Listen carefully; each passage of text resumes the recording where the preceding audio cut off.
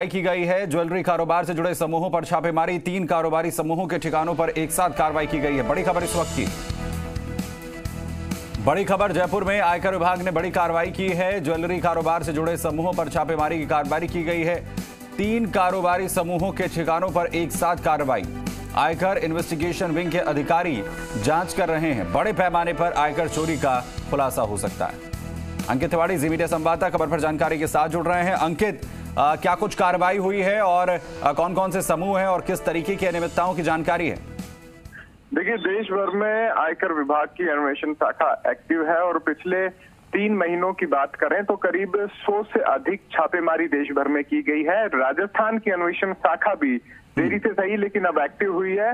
दूसरा बड़ा छापा एक महीने के भीतर है। पहले श्री गंगानगर के कारोबारी समूह पर छापेमारी की थी और अब जयपुर के बड़े कारोबारी समूहों पर छापेमारी की गई। इनमें से एक समूह पर छह साल के भीतर दोबारा से छापेमारी है और वहीं एक फाइनेंस ग्रुप से जुड़ा हुआ कारोबारी है। वो बड़ी संख्या में अवैध लेन देन की शिकायतें मिली थी। उनकी जाँच के आधार पर ये छापेमारी की गई है।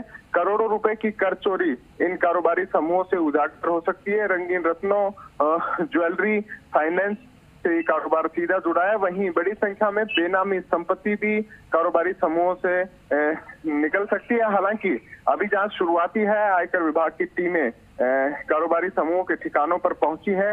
जाँच की जा रही है। जाँच में जो दस्तावेज़ मिलेंगे, उनके आधार पर आयकर विभाग जाँच आगे बढ़ाएगा। हालाँकि इस पूरे मामले में, चूँकि फाइनेंस कारोबार से जुड़ा एक कारोबारी भी शामिल है, ऐसे में नकदी मिलने की भी पूरी संभावनाएँ जताई जा रही है। वहीं बड़ी संख्या में ज्वेलरी और जमीनों के दस्तावेज़ भी बरामद हो सकते हैं, जो अवैध कमाई के संभावित माने जा रहे हैं। आयकर विभाग मान रहा है कि यह प्रदेश की दूसरी सबसे बड़ी कार्रवाइयों में से एक हो सकती है चालू कैलेंडर वर्ष में।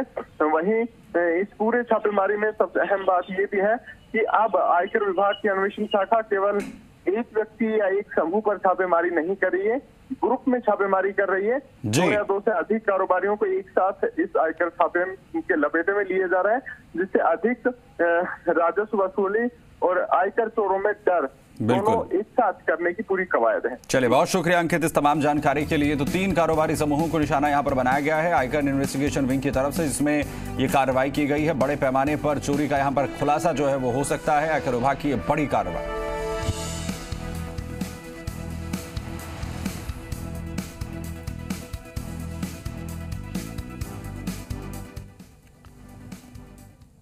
मंत्रालय